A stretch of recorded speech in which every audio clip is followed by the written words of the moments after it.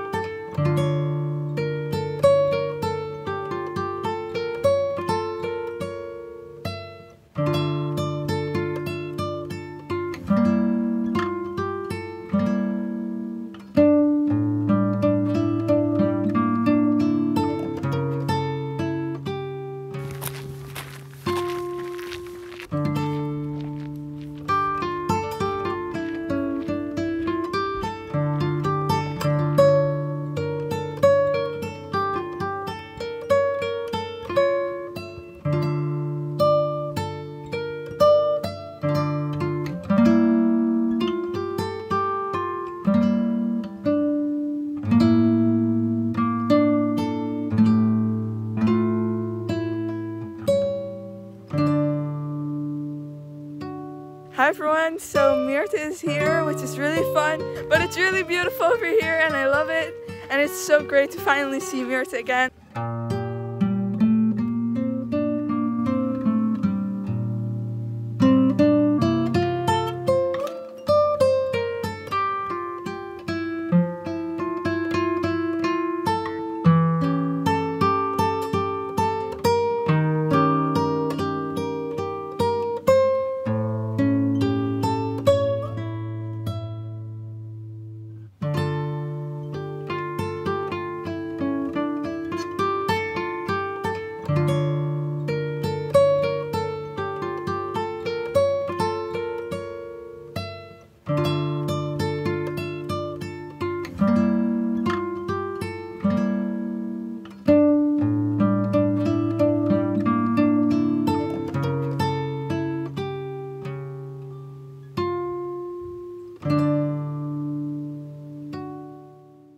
There's lots of this sea foam everywhere, which kind of reminds me of The Little Mermaid.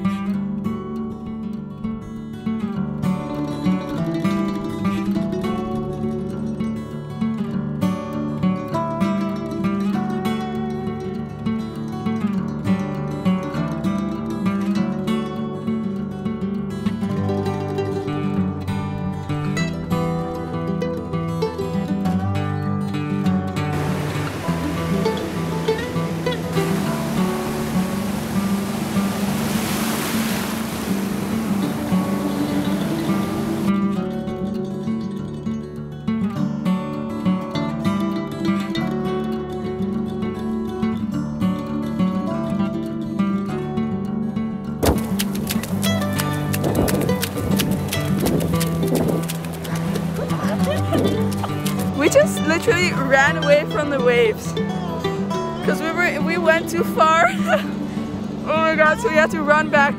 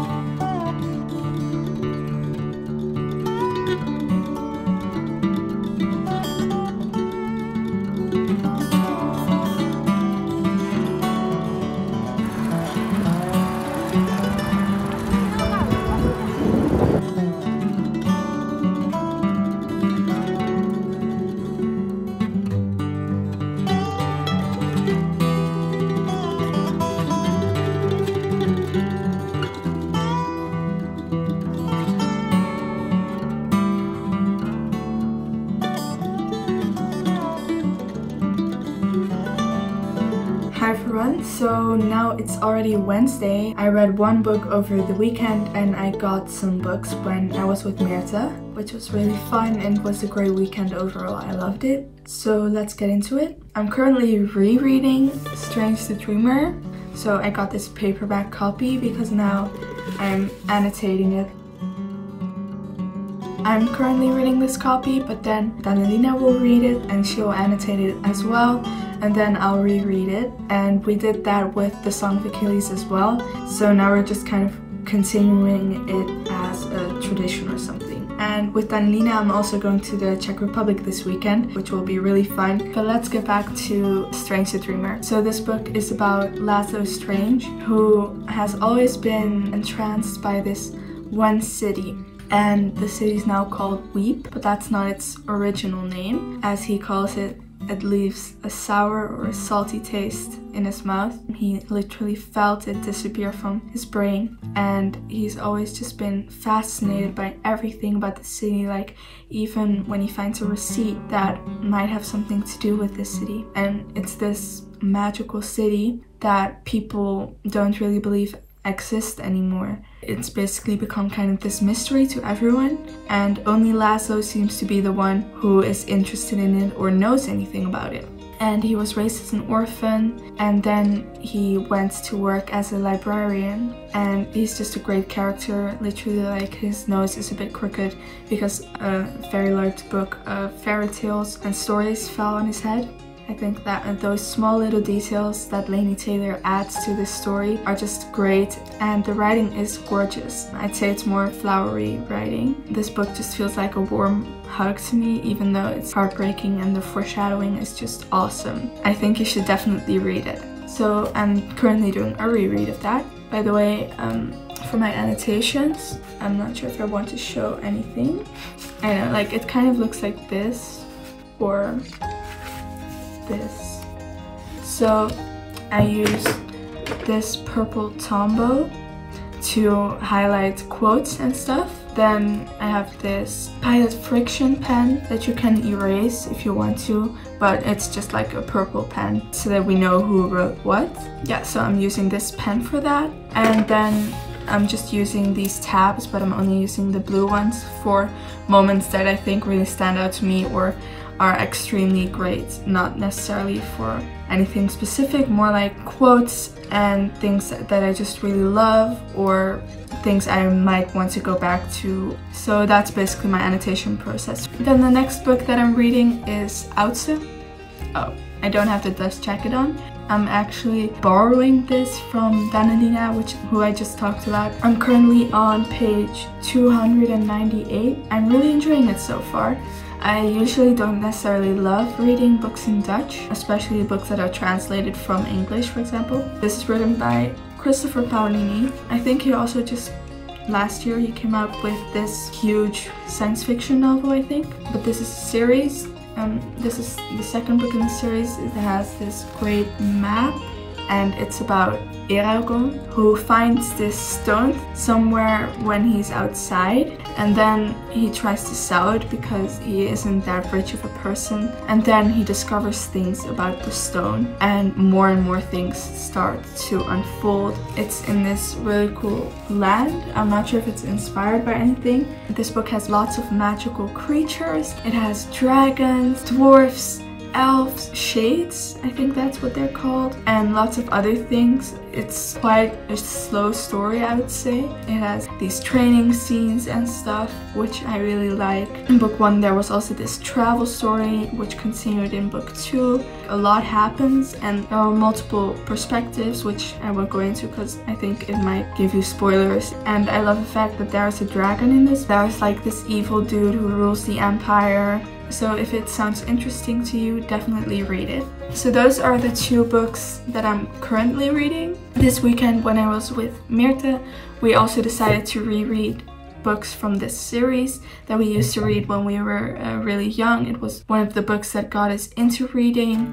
It's in Dutch as well and it has lots of these illustrations and stuff literally everywhere. And they are all basically the same base of the story but then with different characters in different settings. So I read book three from this series and it was okay. I gave it three stars out of five. This is translated from Italian originally, which is really cool.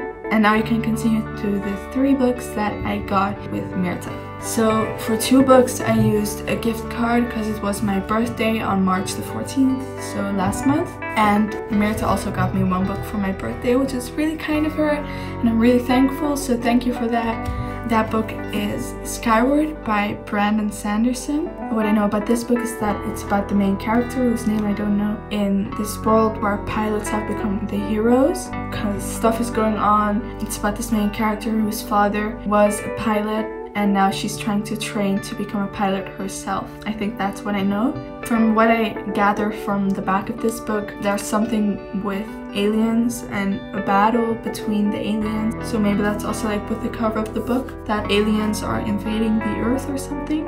It sounds really good. That's this book. I'm really excited to read this. Then I got Delilah Green Doesn't Care. I actually don't know that much about this book. This was a new find, so I just decided to pick it up and see. I think it's a rom-com or something, and it looks like it's sapphic. Then I was like flipping through the book and I saw Iris. So there's a character named Iris and then I was like okay I have to get this book I need to see what it's all about. I think it has something to do with a wedding where these two characters get confronted with each other and a romance starts blooming and I'm really excited to read it. And so the last book that I got was Heartstopper Volume 4 and this is a beautiful cover. I just love this series so much. I had already read this book digitally once and so now I do have all the volumes in paperback editions. They do cover some heavy topics but they just feel like this warm hug. So it's about Nick and Charlie. Wait, I'm doing it wrong. This is Nick and this is Charlie and it's just gorgeous, beautiful. Chef's kiss. And also Tori, the sister, is one of my favorite characters. And I also love Tara and Darcy as a couple and as characters. It's beautiful and I just love it so much. It is like a graphic novel, as you can see, so if you don't like it, maybe it won't be for you, but I made Mirte read uh, volume 1 and she really loved it even though she usually doesn't really like reading um, graphic novels, but she really loved it, so I'm very happy about that. So keep that in mind. So I'd say definitely try it out. I even think they are on Webtoon for free, so I don't think much is stopping you from actually picking this series up and reading it. So I'll just see you in the next update.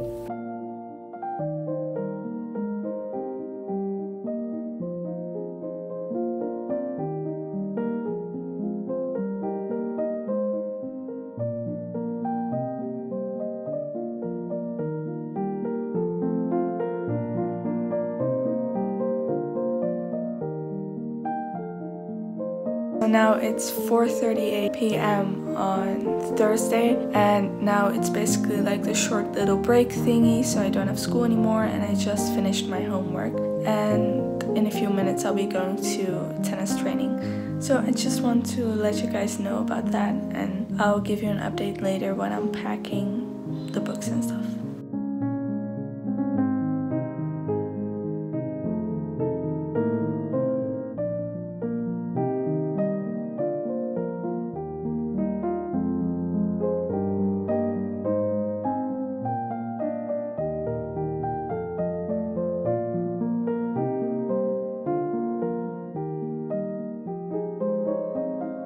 So I've decided that these are the bookish things that I'm taking with me. I have this pencil case with annotation stuff and also a tiny sketchbook if I want to draw.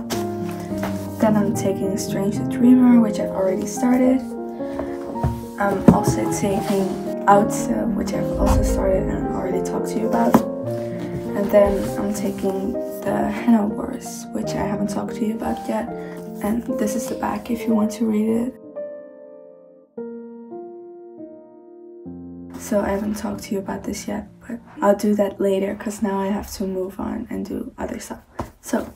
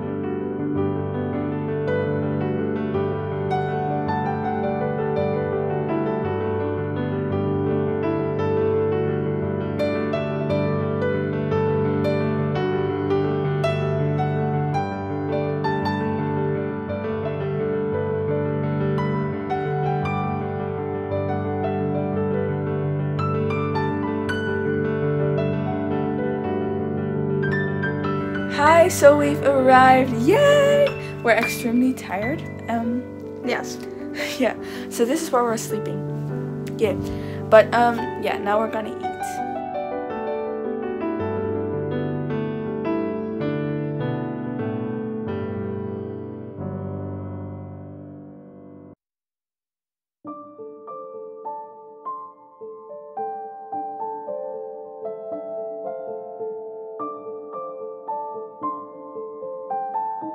so we're now walking to the chickens. Yes. Misha's barking. But we're gonna give them some food because so literally. Hi, they're here. and we're here.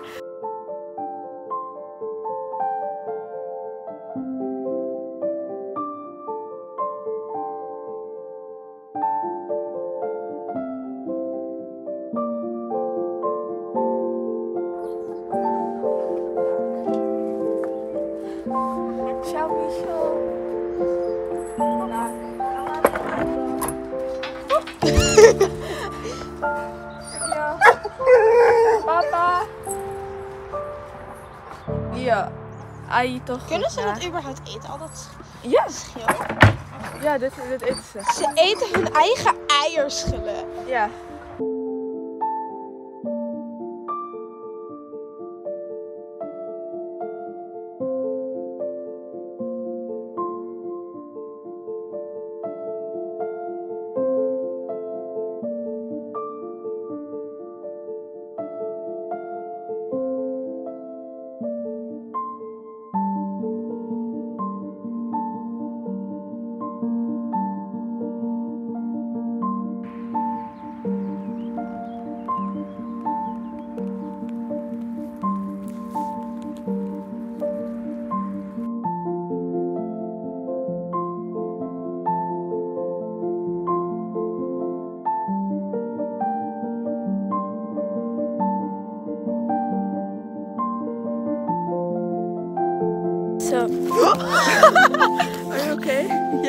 So we just went and fed the chickens, which was great, and we also saw Misha the dog, and um, yeah. So now we're on a walk.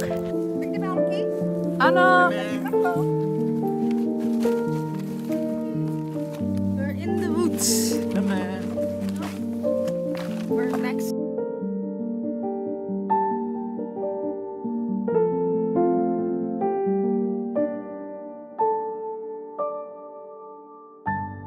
We're walking in the woods, ah, and we're going to get some water from the little stream thingy.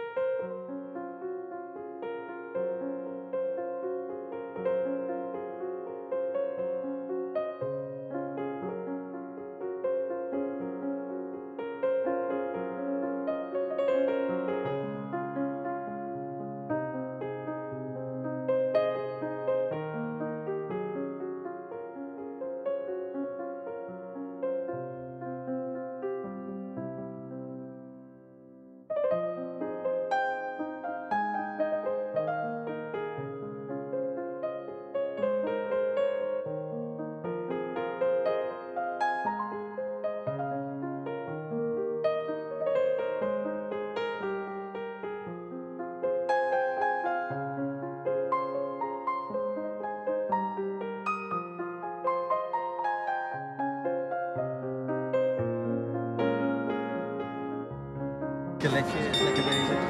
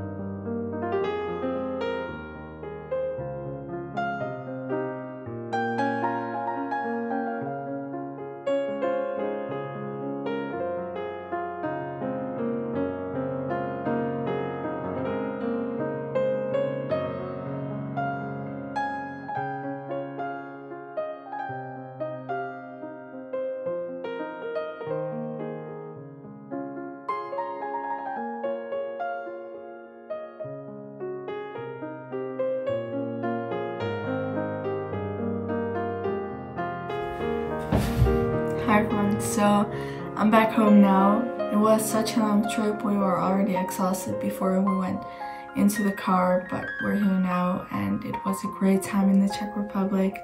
It was awesome. And so I think I'll be wrapping up the reading that I did and then I'll end this vlog. So let's just start with the books. Um, so I brought the three books with me and I didn't end up reading much in Strange the Dreamer.